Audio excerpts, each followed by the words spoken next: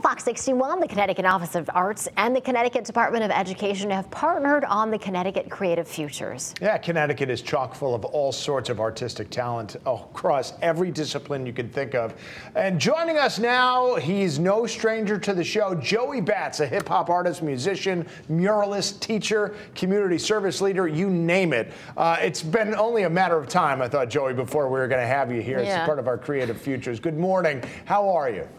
Good morning. Thank you. Hello, everybody. I appreciate it. Thank you again for having me on the show. And uh, I'm super happy to, to be here. And I love that you are spotlighting uh, the artistic community. I think it's great. Yeah, this is what we are trying to do. Now, starting by talking about teaching, you're coming to us from uh, Manchester right now. You teach there. You've taught at Hartford Public Schools. Uh, what inspired you to go in that route to try to help kids?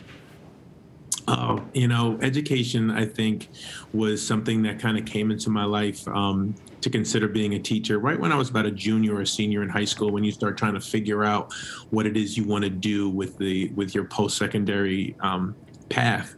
And uh, I always appreciated the teachers that, you know, kept their door open after school, the teachers that ran clubs, the teachers that would be willing to kind of meet students on an individualistic, you know, level where you could have those conversations and they could give you some wisdom and just kind of help you manage life. You know, the transition from a young adolescent to a young adult is so yeah. difficult.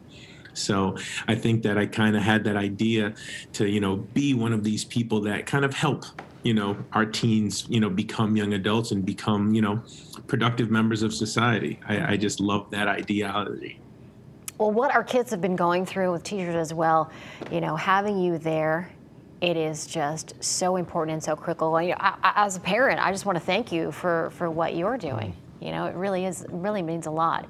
I also want to talk, ask you to talk about your hip hop for homeless concerts. Those are having a huge impact as well. Mm-hmm.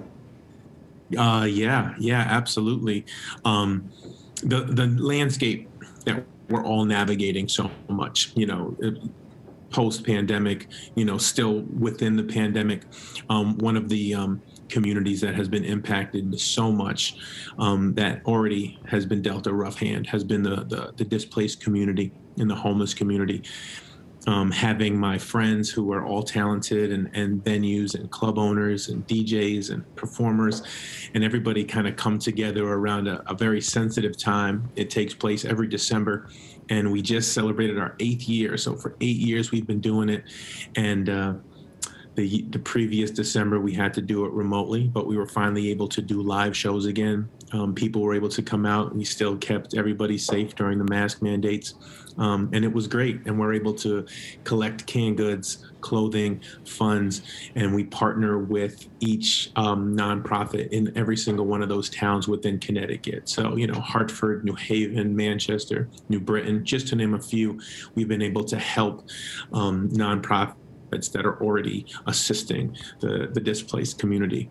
So um, it's been amazing, and, and the reception has been great. And every year we continue and continue to grow, which is amazing. We would be remiss uh, if we didn't uh, mention you got a new album out, Air versus Earth, seven songs, and we want to ask you about that if we have time. But I also want to ask you about kids who want to get into rap, hip hop, public speaking, but they need to perform in front of other people. That's yes. a different uh, ball of wax entirely. What advice do you have uh, for people to sort of get over that stage fright?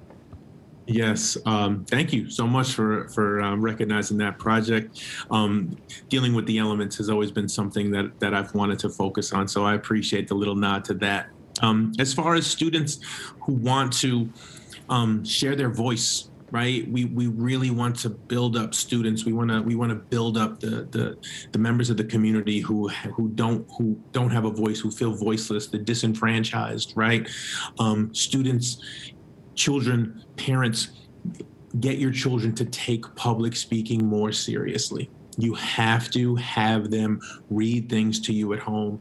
You have to have verbal communication with them. You have to allow them to use their voice because they if they don't find their own personal voice, both literally, right? And and figuratively they won't be able to ever be in front of people whether that's friends family members or strangers. They'll never feel that confidence. So please have those conversations.